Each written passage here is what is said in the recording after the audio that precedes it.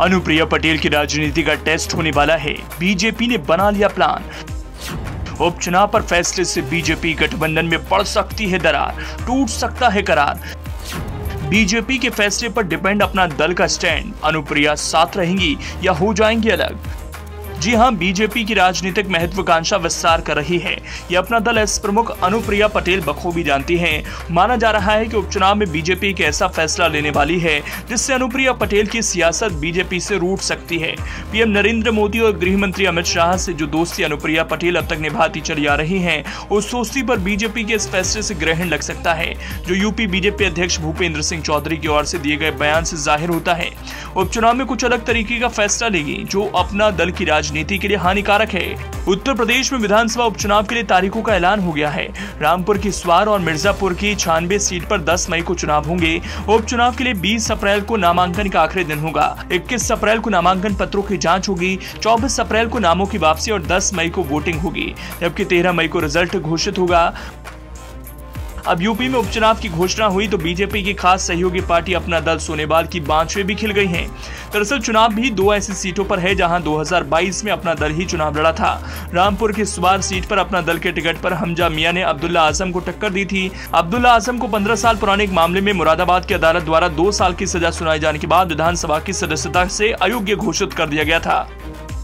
गौरतलब है कि मुरादाबाद की एक अदालत ने साल 2008 में गलत तरीके से धरना प्रदर्शन करने के मामले में पिछले सोमवार को आज़म खान और अब्दुल्ला को दो दो साल की सजा सुनाई थी। अब्दुल्ला दूसरी बार सदन की सदस्यता से अयोग्य घोषित किए गए थे। इससे पहले साल 2020 में इलाहाबाद उच्च न्यायालय ने उनके चुनाव को रद्द कर दिया था। न्यायालय ने कहा था कि साल 2017 में हुए विधानसभा चुनाव में स्वार सीट से जीत हासिल करने वाले अब्दुल्ला चुनाव लड़ने के लिए निर्धारित न्यूनतम आयु पच्चीस वर्ष से कम उम्र के थे। मिर्जापुर की छानबे सीट अपना दल के विधायक राहुल कौल के निधन के बाद खाली हुई। अपना दल एस के विधायक राहुल प्रकाश कौल का फरवरी महीने में निधन हो गया था। वो लंबे समय से बीमारी से जूझ रहे थे और मुंबई के अस्पताल में उनका इलाज चल रहा था। चालीस साल के राहुल प्रकाश कौल दो हज़ार सत्रह विधानसभा चुनाव में सबसे कम उम्र के विधायक बने थे। वहीं अब उनकी सीट पर उपचुनाव होगा। ऐसे में फिर से इन सीटों पर अपना दल का दावा काफ़ी मज़बूत हो गया है। यही सवाल बीजेपी के प्रदेश अध्यक्ष भूपेंद्र चौधरी से पूछा गया तो उन्होंने गोल सा गठबंधन वाला जवाब दे दिया।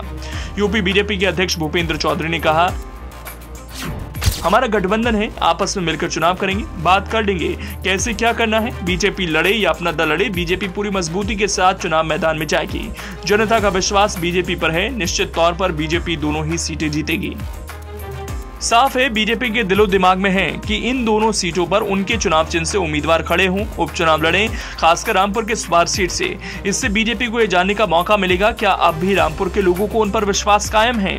जिस तरह से बीजेपी रामपुर लोकसभा और विधानसभा उपचुनाव में सपा के गढ़ पर कब्जा कर चुकी है, क्या उसी तरह से अब भी आज़म खान के एक और गढ़ स्वार पर कब्जा किया जा सकता है? और पसमानदा मुसलमानों को जिस तरह से बीजेपी थिंक टैंक अपने बाले में लाने के लिए कोशिशें कर रहे हैं, क्या वो कामयाब होता नज़र आ रहा है? लेकिन लेकिन अगर खुद के लिए बीजेपी सोचेगी तो अनुप्रिया पटेल की राजनीति प्रभावित होगी। ऐसे में वो कुछ ना कुछ जवाब तो ज़रूर देंगी।